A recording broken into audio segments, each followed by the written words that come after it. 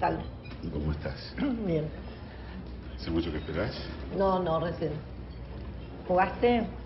Sí, jugué un poco. No muy bien. El vino, por favor. Pero te hace bien, porque caminás. Sí, sí.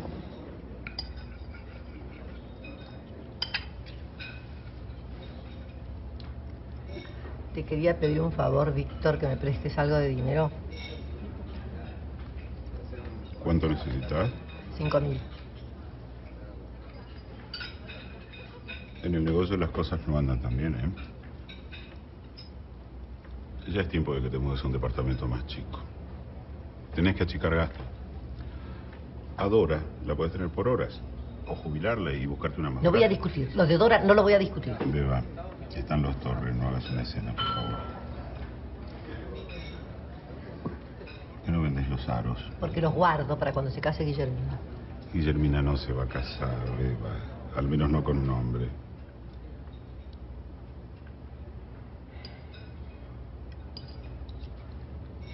No sé cómo te atreves a darme consejos.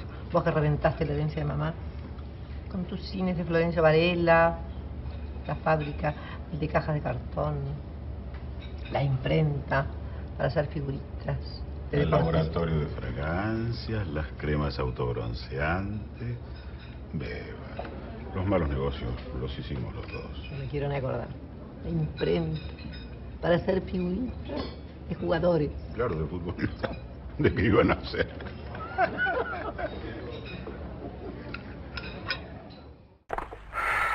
Qué bien se respira aquí. Y detrás de esos pinos las tierras secas, abandonadas. Aquí hay mucho que hacer, mucho.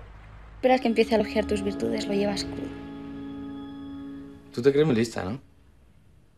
Puede. Pues estás muy equivocada. No necesito que vengas a decirme cuáles son mis virtudes. No, estoy segura de que ya sabes cuáles son.